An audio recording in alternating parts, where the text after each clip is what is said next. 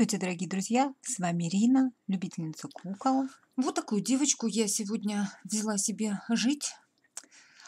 Э, Бэушную, ГДР. Номер есть сзади. 45 э, 173. Но даже по номеру я не смогла найти на Doll Planet, э, какому заводу она принадлежит. Ну, что это ГДР, это понятно.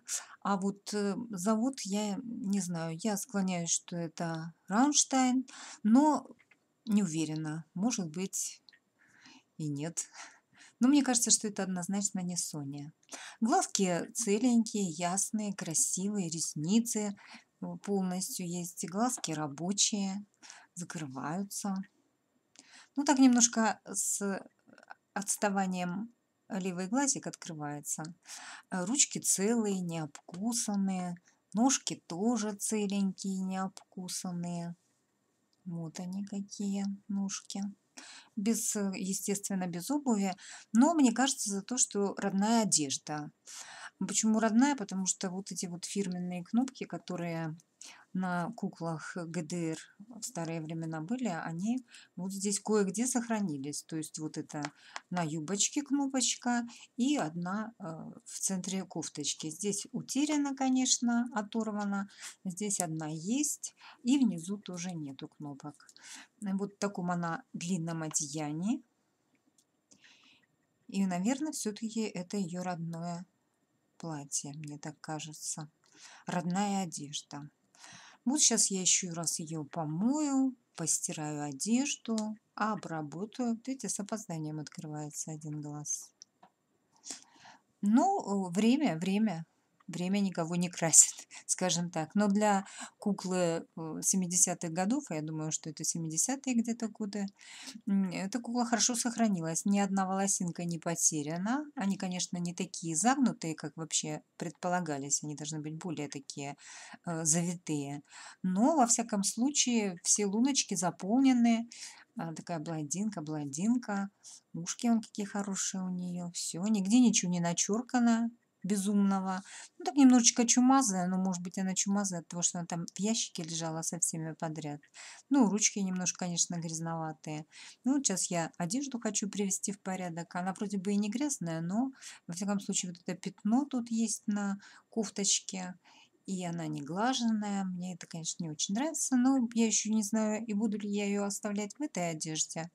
Но, во всяком случае, девочка хорошенькая. Я думаю, она сантиметров, наверное, 40 может даже чуть больше. Ну, еще пока не измеряла. Вот такая красулька, одним словом. Сейчас буду приводить ее в порядок. Вот такая вот зайка. Вот она какая.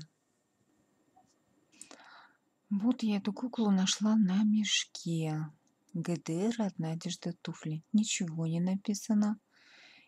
Какой это завод или что тут тоже в подробном описании ничего не написано. Идеальное состояние, глаза закрываются.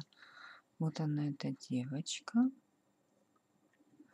Ой, даже кажется, глазик точно так же с отставанием открывается, потому что смотрю, что как-то немножко не так. Ну-ка, одежда та же. А, нет, тут еще есть вертикальные полосочки кружевные. У моей нету. Ну-ка, а тут что? Ну да, в туфельках. Личика. И все то же самое.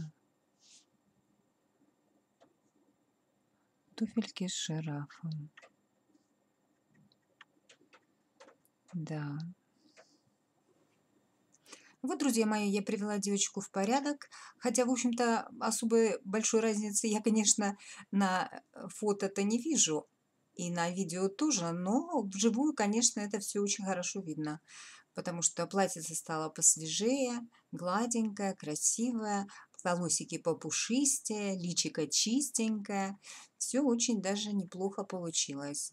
Но пришлось одеть, конечно, туфельки ей такие пока из детского мира еще не успела ничего сделать такого интересного или похожего хотя бы. Ну, великовато, носочки я, конечно, сделала ей.